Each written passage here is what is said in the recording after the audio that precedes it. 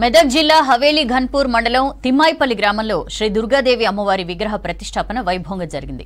కార్యక్రమానికి Mynampally social service organisation chairman Mynampally Rohit హాజరయ్యారు. ఈ సందర్భంగా రెండు లక్షల రూపాయల విరాళం అందజేశారు మైనంపల్లి రోహిత్. గ్రామంలోని సమస్యలు తెలుసుకుని ఆర్థిక సాయం చేస్తామన్నారు.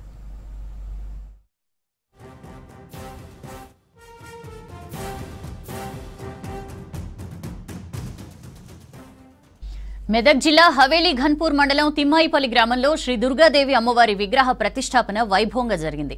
కార్యక్రమానికి Mynampally social service organisation chairman Mynampally Rohit హాజరయ్యారు. ఈ సందర్భంగా రెండు లక్షల రూపాయల విరాళం అందజేశారు మైనంపల్లి రోహిత్. గ్రామంలోని సమస్యలు తెలుసుకుని ఆర్థిక సాయం చేస్తామన్నారు.